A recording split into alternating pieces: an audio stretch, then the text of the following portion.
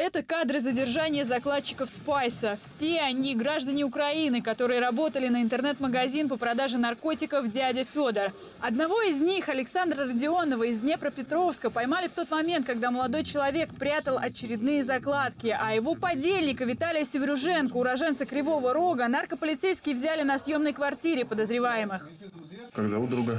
Александр Александр. Александр здесь что делает? работает Работает кем? курьером Курьером чего? с курительной смеси. В квартире наркополицейские обнаружили приготовленные для закладок свертки со смесями, оптовые пакеты.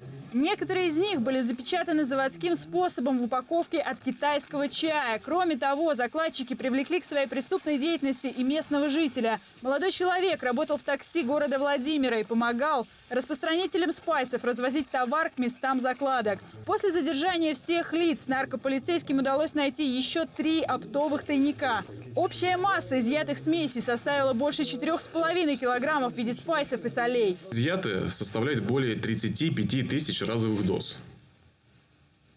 То есть, если, скажем так, представить это в эквиваленте э, среднестатистического футбольного стадиона европейского, то есть практически можно было э, полный стадион э, людей отравить вот этой вот дрянью. По подсчетам наркополицейских, убыток, который понесла наркомафия в результате изъятия партии, составил около 5 миллионов рублей. В отношении задержанных были возбуждены уголовные дела, а на время следствия мигранты заключены под стражу.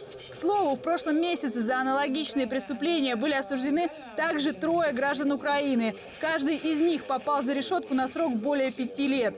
Что же касается статистики по употреблению наркотиков в 33-м регионе, то она, по словам наркополицейских, значительно улучшилась. 9 месяцев текущего года мы, в нас в области на треть сократилось количество передозировок от наркотиков, на 20% снизилось э, число обращений в скорую медицинскую помощь по фактам э, наркоотравлений. Кроме того, согласно данным тестирования, лишь 5% школьников Владимирской области пробовали наркотики, в то время как по России эта цифра равна 10.